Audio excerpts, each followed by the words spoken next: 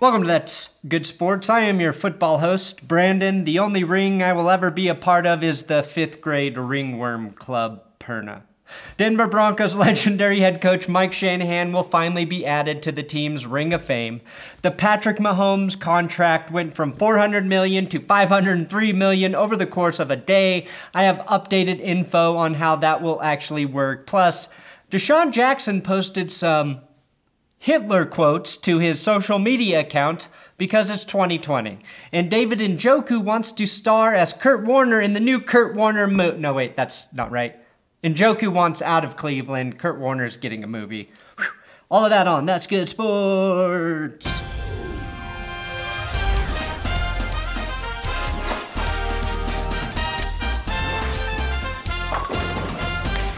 Please, for near daily football news updates, subscribe to this YouTube channel. I do have Big Dick Patreon shoutouts for new patrons Matej, Grobol Jessic, Lane Comstock, Blubba Gaming streams Fortnite on Twitch, Mark Gillespie, Blue Ridge Mountain Plumbing upping to $109, the best plumbing in Central Virginia. Blue Ridge Mountain Plumbing and Ryan Monroe, aka Ryan Monbro, who is wishing his girlfriend a happy birthday.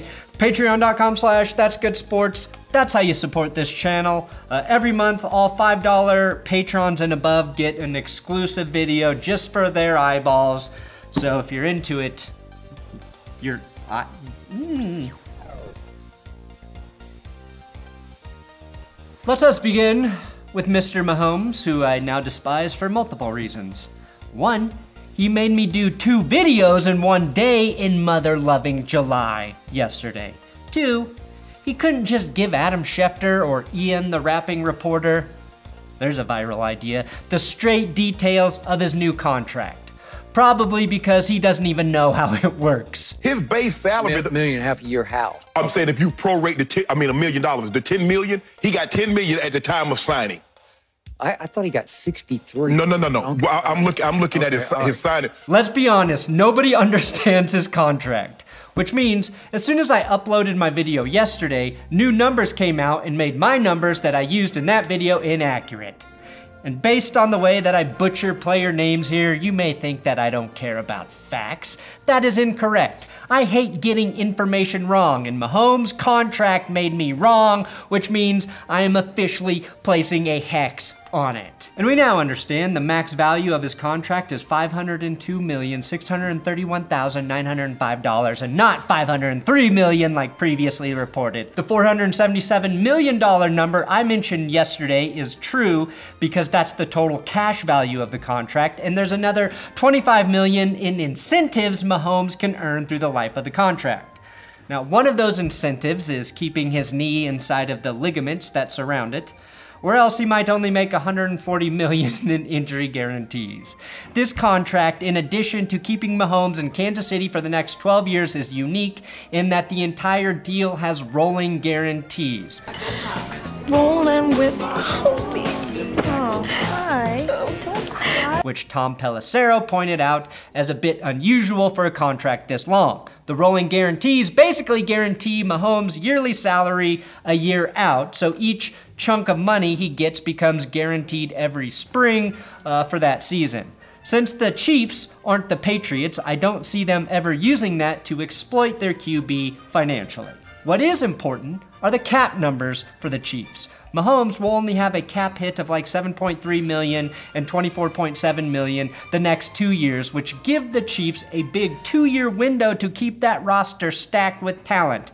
In 2022, the cap hit jumps to 31 million, peaks in 2027 at 60 million, and concludes with the $52 million cap hit in 2031, which won't matter because the NFL will be owned by Google or Facebook at that point, and all players will be paid in one of those companies' cryptos. Some people want to shit on this deal. The problem with that is it's a good deal for both the Chiefs and Mahomes. Uh, they will probably restructure this shit when it makes sense to do so. A restructure will allow portions of Mahomes' salary to not count against the cap. We are barely holding on to the idea that football will be played in the fall, so to know what the salary cap will be in four to five years seems impossible right now. Some will say Mahomes screwed himself by not tying his salary to a percentage of the salary cap and others will applaud him for signing a half a billion dollar contract. Critics will also say Ryan Tannehill is going to make more money at 118 million over the next 4 years compared to Mahomes who's only guaranteed to make 103. That's because the next 2 years are still on rookie contract years for Mahomes. Tannehill after the year 2023 has nothing. Mahomes has 400 million still on the books after that. The only person who got screwed in the Mahomes deal is Cam Newton. The Patriots convinced Cam that letting Belichick shit in his hands was worth two in the bush. Now, I don't give a shit if Mahomes could have made more money by playing the franchise tag game like Dak Prescott. The Mahomes deal suggests he cares more about winning long term than maxing out how much money he can make. And again, it's currently a half a billion dollars. 103 million is fully guaranteed for Mahomes by next March. That money will last him forever. If Dak and Watson make more money than Mahomes as players but don't win shit because they handicap their shitty teams financially, does it matter? I'm all about players getting paid, but if you have made over a hundred million dollars, I don't give a shit what you make after that because at some point you're just comparing levels of greed. It's the biggest contract in sports history that Mahomes signed. But people will be like, he could have gotten more. He could have gotten more than the biggest contract ever signed by an American sports athlete. How many times do I have to tell you here? NFL contracts don't matter. They change that shit all the time to fit the team needs. Players change them, teams change them. Mahomes' contract will probably change too. But again, we all saw this coming. It's not like anybody thought the Chiefs wouldn't sign Mahomes forever. You don't let a player like that walk away. And people really want me to hate this Patrick Mahomes contract. I don't. I just hate that he plays for the Chiefs.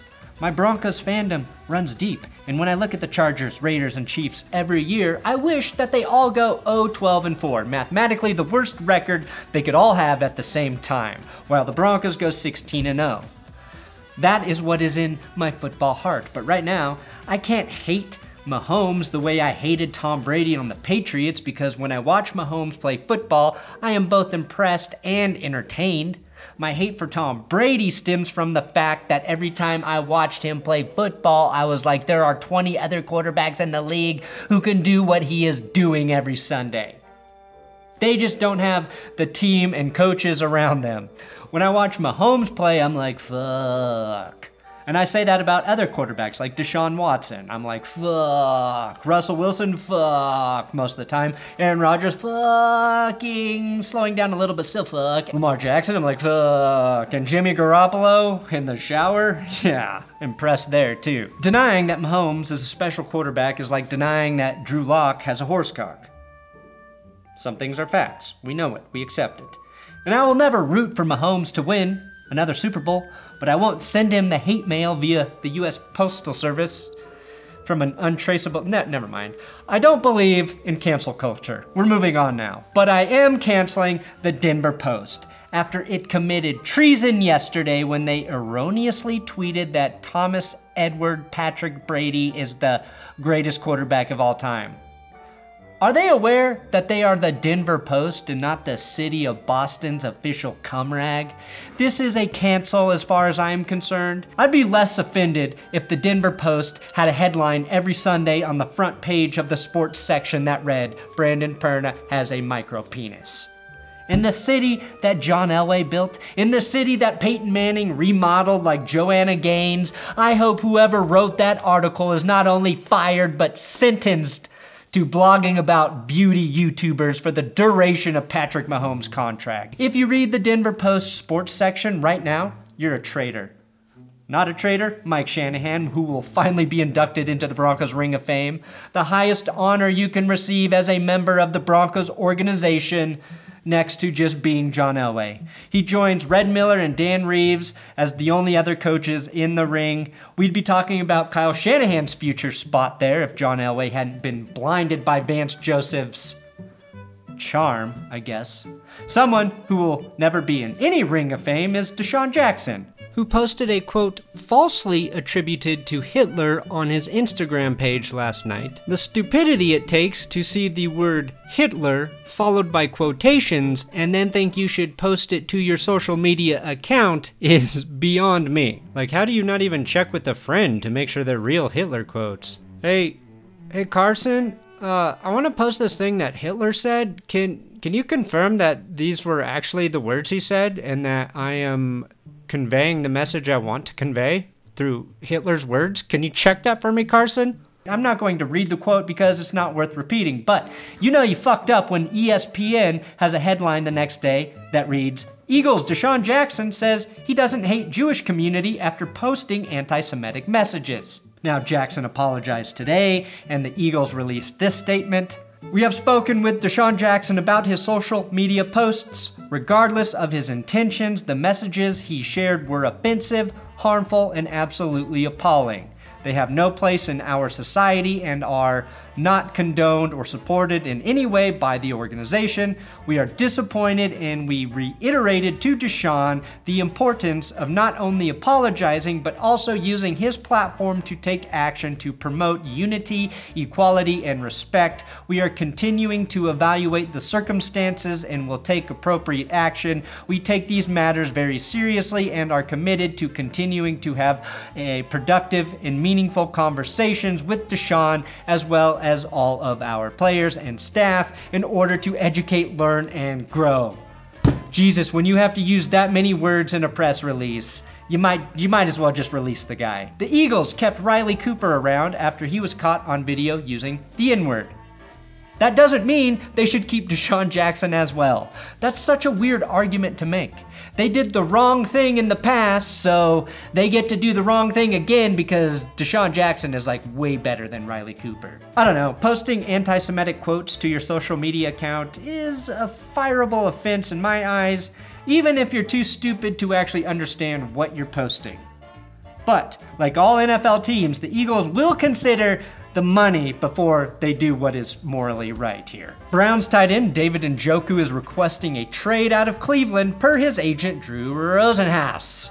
Rosenhaus. The Browns exercised uh, Njoku's fifth year contract, but they also sent mixed signals by signing Austin Hooper and then drafting tight end Harrison Bryant in the fourth round, essentially saying they're upgrading the position. Njoku was a first round pick in 2017, a solid option in the passing game until last season when he got hurt and played only four games, which likely prompted the Browns to sign Hooper and draft a reinforcement.